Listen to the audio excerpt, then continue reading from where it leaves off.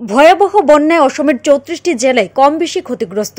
বন্যার দাপট ক্রমশ কমছে। নতুন করে কোনো মৃত্যুর খবরও আসেনি বলে বিপর্যয় মোকাবেলা দপ্তর সূত্রে জানানো হয়েছে।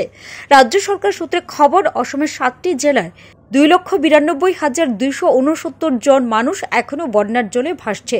তাদের বাড়ি ঘর কৃষিজমি সবই জলের নিচে।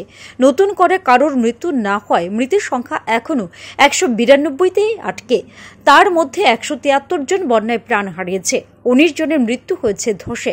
এখনও পর্যন্ত বন্যায় সবচেয়ে ক্ষতিগ্রস্ত নয়টি জেলা হল কাছাড়, চিরাং, ডিমা হাসাও, গোলাঘাট, হাইলাকান্দি, মরিগাঁও, নোয়াগাঁও, শিবসাগর এবং তামুলপুর।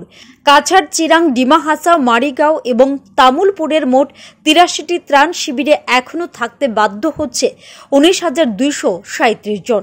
তাদের মধ্যে পাঁচ হাজারের বেশি শিশু বলে জানা গিয়েছে। ব্যুরো রিপোর্ট, রাইজিস্ট নিউজ।